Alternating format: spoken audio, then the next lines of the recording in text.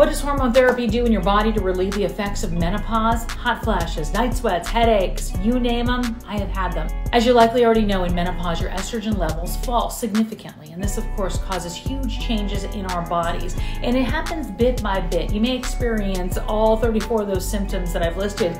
I listed them in the video down below. There are even more that I've now added. And hormone therapy has been shown to be the most effective treatment to relieve symptoms. That's according to the Mayo Clinic and a lot of experts out there. But keep keep this in mind.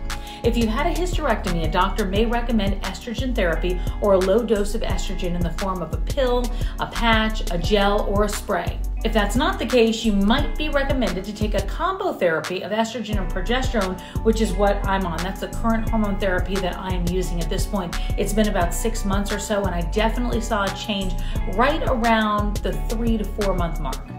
So for me, as of now, hormone therapy has many benefits, helping keep those hot flashes at bay, helping with sleep, easing vaginal dryness. As I always say, first and foremost, talk to a doctor to see if hormone therapy is right for you.